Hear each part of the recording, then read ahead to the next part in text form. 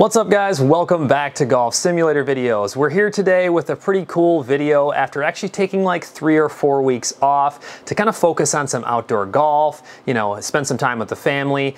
Uh, during that time, I have had so many emails coming in about the Garmin R10 launch monitor. All right, actually, uh, specifically the Garmin Approach R10 is actually the name that Garmin uses, but this portable golf launch monitor is radar based, and I've had so many people emailing me about it, and that's what we're here to talk about today. I actually have some very interesting information that it sounds like a lot of people uh, are not aware of, and they've asked me to do a video covering all this. I've had a lot of people say, you know, you really need to share this with everybody out there. And so that's what we're here doing today and kind of asking that question, should you buy the Garmin R10 Golf Launch Monitor? Let's go ahead and get started.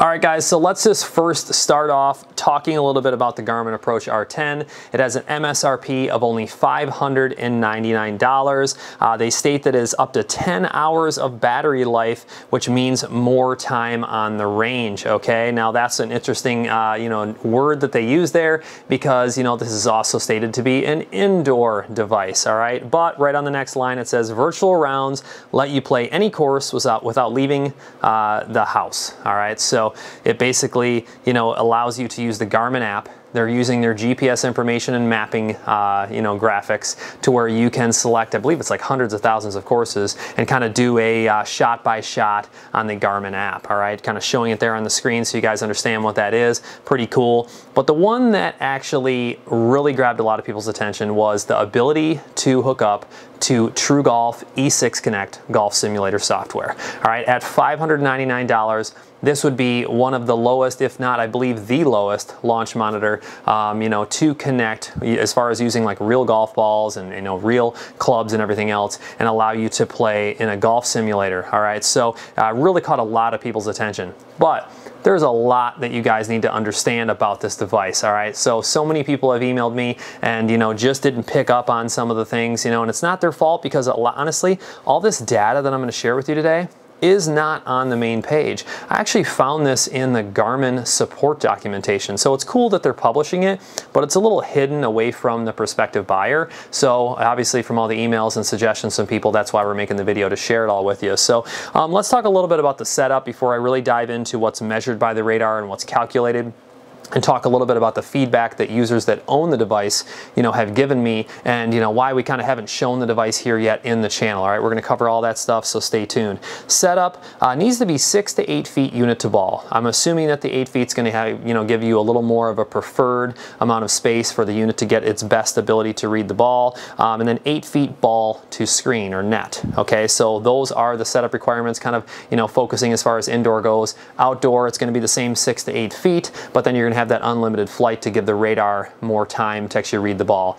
Just so you guys understand, if we have anybody that's just entering the space, um, the two main uh, types of units that you have for golf launch monitors or you know simulators if you will um, are radar based or camera based, you know, photometric. So you either have a camera or multiple cameras that are reading the ball and reading the club, or you have radar, okay, which actually tracks movement. Kind of looks almost like a blob, if you will. Um, it's a different type of tracking, okay? So just so you understand, this is a radar based unit, all right? So um, the tee location needs to be aligned, but can be moved up to a foot on either side of the target line. So actually include this little alignment stick. You're gonna align the radar to your target line, or maybe it's the center of your screen, whatever you have going on, and then you have kind of a two by two hitting area from there. All right, so I wanted you guys to understand all that.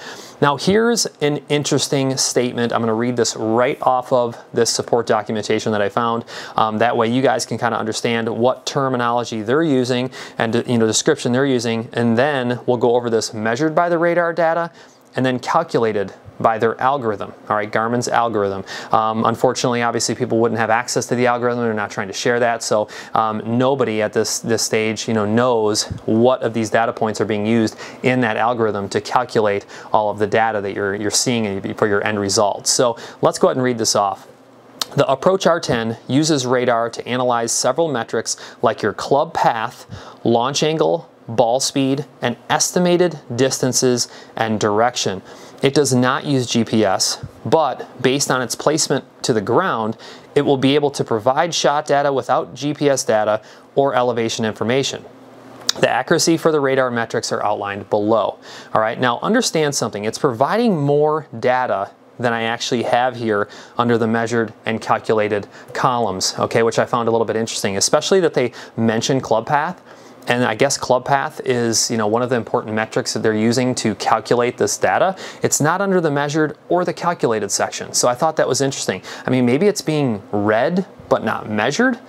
I'm not sure. Garmin might have to fill us in on that, but I want you guys to be aware of this. And you know, this this is something when I started sharing it with people that were reaching out, they were like, oh my gosh, I didn't know anything about this. And that's when everyone started making the suggestion that we do this video. And then we'll talk about why we haven't covered the Garmin R10 yet, and if we're gonna cover the Garmin R10 in uh, the GSV studio. So radar accuracy, all right, measured by the radar, all right, it's saying that it's measuring this data.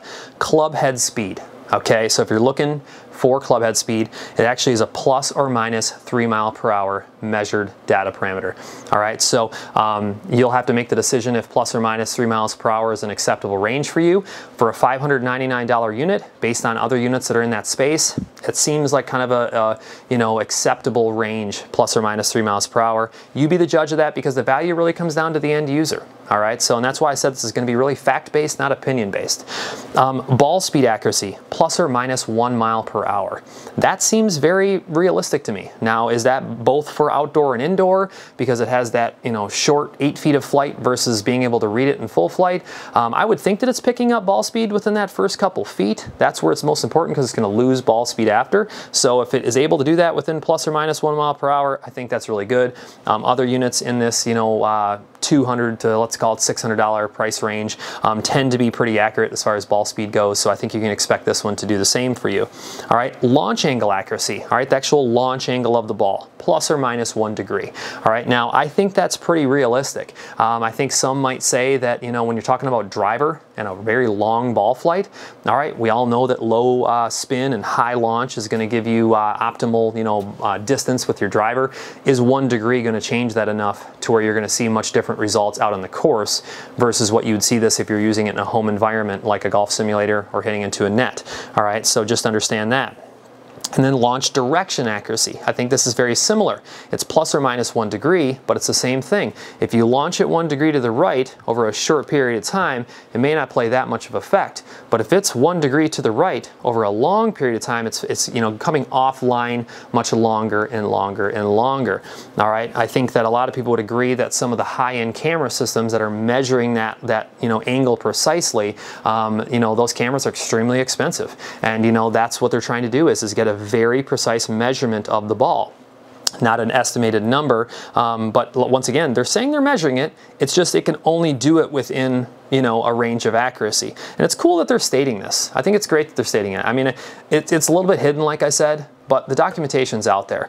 Um, now the interesting part is is they've mentioned several times how they're using ClubPath to come to the determination of data. What i found interesting was is, is that ClubPath is not under measured data but it's also not under calculated data so um, now let's go under uh, uh, calculated by the algorithm data. So they're saying that the measured data that they're getting from the radar is going into the algorithm to come up with this data, such as club face angle accuracy, plus or minus two degrees. All right, so I think, and this is kind of, I guess, my opinion, but I think most would agree, that plus or minus two degrees could be pretty significant all right, where it's gonna change that ball direction. But if you were trying to work on stopping to come outside in with your club swing, all right, um, and you wanted to make sure that your face was um, not closed at impact or not open at impact. You know, you were working on your swing. That, that's, that's, that's what we'll just say. Um, I think that the plus or minus two degrees is at least gonna tell you if the face is open all the time or if the face is closed all the time. Um, you know, and you're gonna have a gauge of it. So uh, if it can provide that, you know, calculated by the algorithm, I think it'd be doing a decent job. So especially, once again, at the $599 price range. Everybody always you know comes out right away and says, well, how's it stack up against $20,000 you know unit or an $18,000 unit or whatever it may be? Well, it's a $599 unit. I mean, I think we all understand that there's going to be these level of accuracies and you know expectations that you should have if you're purchasing this, and that's why I'm sharing this with you. You know, no different than if you wanted putting or chipping. Um, you know, well, for $599, you're not going to get it with this unit you know, and that's just something you have to understand. It's part of that value. But let's go over the other calculated stuff. Apex height accuracy, plus or minus five feet. I don't think that's bad. I mean, I don't think most people are really going to say, hey, plus or minus five feet is making a huge world of difference. Um, so it's going to give you a good idea of your apex. And then carry distance accuracy, plus or minus five yards. All right, so carry distance plus or minus five yards. I think there's going to be some, you know, golfers out there that may say, hey, I need to know you know, a closer range of that plus or minus five yards. But if you're bag mapping and you're an average golfer and you're just trying to get a good gauge of your distances and it can do it plus or minus five yards, I think that's going to be very acceptable, especially at the $599 price range. Okay, so you have to ask yourself the question if whatever level of golfer you are, if that's acceptable. But now let's go into something that's very important. And hopefully you guys have stayed tuned to this part of the video because spin, okay, is not in here anywhere.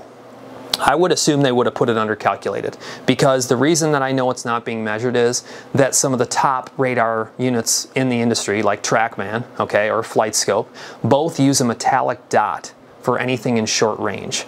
And they do that so the radar can actually see the movement of the ball precisely. Now if it's outside, it can actually see the flight of the ball, it can see the curve of the ball, but that side angle or side spin of the ball is creating curve in the air okay? And that's what's allowing it to give you the shot shape.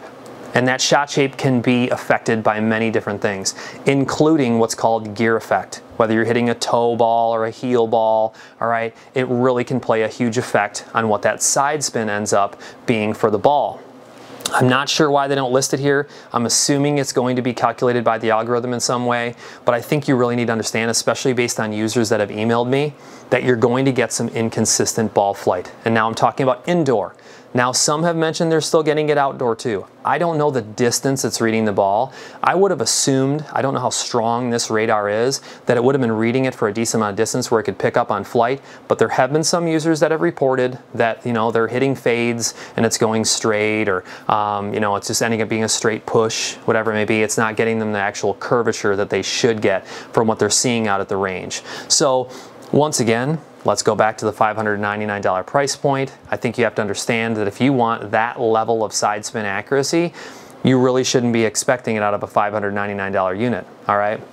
Now, is it doing a decent job? I've had quite a few users report that out in the range, they're getting decent ball curvature. There's misses in there. I mean, almost every person so far that's talked to me said, yeah, there's misses, but I also saw some that were, you know, right on.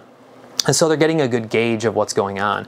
In the indoor environment, most people, what they've shared with me, Uh, have been that it's struggling a little bit with that side spin, which is going to be something very important to get a shot shape. So just understand that. Now, as far as GSV covering the Garmin R10, I'll give you guys kind of a full disclosure on what happened there. So I actually had communication with Garmin and they were going to send a media unit out for us to test. And uh, we thought it was coming and kind of had more communication with them uh, upwards of like a few weeks ago, I want to say is when it was, three or four weeks um, before they started shipping to customers. And it sounded like they were still sending a unit out. So I didn't buy one because I thought one was coming. And uh, you know, I, it, one never came. I don't know what happened. and I, I wasn't going to push them to send one. That's not what GSV is all about. I mean, we kind of show things how it is. I'm never asking for free things or anything like that. I'm not reaching out to people, pushing them to send us stuff. If they want to send one, great. Um, you know, we'll show it like we always do, uncut and straightforward. Um, but we haven't had a unit because of that. Will we buy one? It's possible.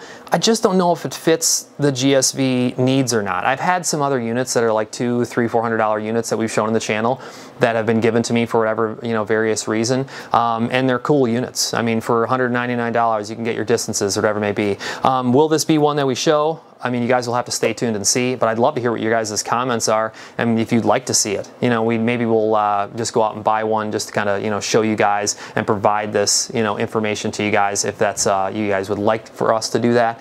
We could do it. So, um, you know, as always, I just appreciate you guys watching. I love your feedback. So comment below you know, let me know what you think. Let me know what you'd like to see, and I'd uh, love to provide it to you. So I hope this video has been very, you know, informative uh, to everyone that's been emailing, um, everyone that may uh, have emailed, you know, in the future. Maybe you don't have to now because you know all these details. I've been able to share them with you, and uh, you know, it'll be really cool to see what's coming up in the future with people like Garmin kind of dabbling in this uh, this space, you know, and, and lower priced units coming out, higher priced units coming out. A lot of changes going on out there, so it's really cool to see. I think it's going to be exciting fall and winter season coming up, and I'll be sure to share everything with you guys as more develops in the space. So, um, as always, thanks a lot for watching. Make sure you subscribe if you haven't had a chance. Comment below what you think, and we'll talk to you guys soon.